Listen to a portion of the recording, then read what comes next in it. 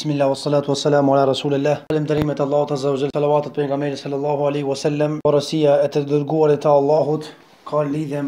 apo është në lidhje me atë që kemi vazhduar ligjëratat dhe porositë e kaluara në lidhje me edukatën e kryerjes së nevojave fiziologjike. I dërguari i Allahut në këtë porosi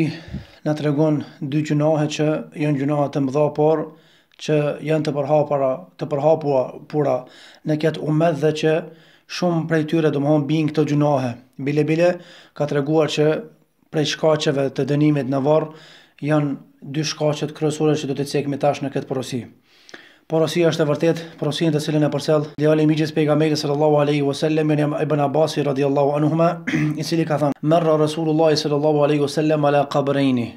I Dërguari i Allahut kaloi pranë dy varreve,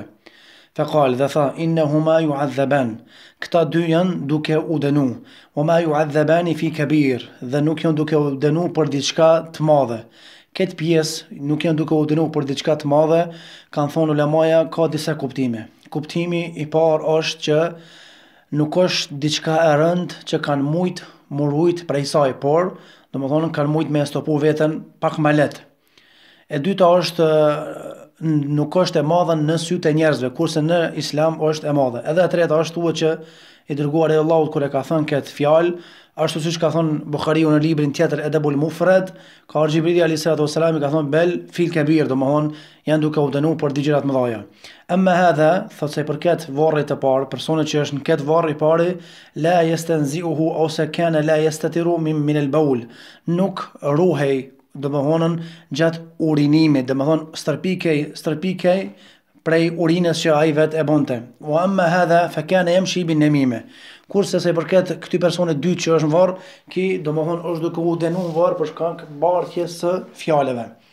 I dërguari i Allahut në këtë hadith, në këtë porosi, na ka treguar pra dy gjynahe që janë të mëdha në Islam dhe që do të sprovohen me ta umeti i Muhammedit sallallahu alaihi wasallam dhe shumë prej tyre do të dënohen në varr për shkak të këtyre dy gjynahve. E para prej tyre domethënë është edukatë njëherit rreth asaj se si duhet besimtari musliman të urinojë dhe se duhet të jetë i kujdesshëm që rrobat e tij të mos ndyten me stërpikat e urinës, pra ta ruajë veten e tij qoftë gjatë urinimit në këmbë apo qoftë gjatë urinimit ulur për shkak se pastaj ndyten rrobat edhe normal që namazi është në rrezik për mos t'u pranuar nga stërpikjet e urinës. Çështja e dytë është çështja e bartjes së fjalëve, që shumë prej njerëzve janë të sprovuar me këtë çështje, për atë arsye ka thënë Yahya ibn Kathiri që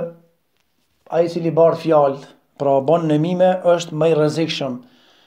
se ai magjistari, për shkak se magjistari mund t'ia dëmtojë dhe prish jetën një personi, kurse bartësi i fjalëve mund ta rrënojë një shoqëri duke bartur fjalë për njëri-tjetrin. Sa i përket çështjes se i dërguari i Allahut,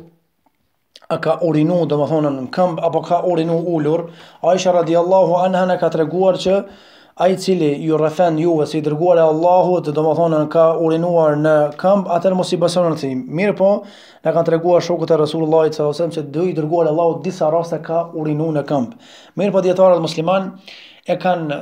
sqaruar këtë çështje pse i dërguari i Allahut disa raste ka urinu në këmbë, e jo në shumicën e rasteve, e para prej tyre kanë thonë ulemaja, Nëse ka pas apo ka qenë banjo afër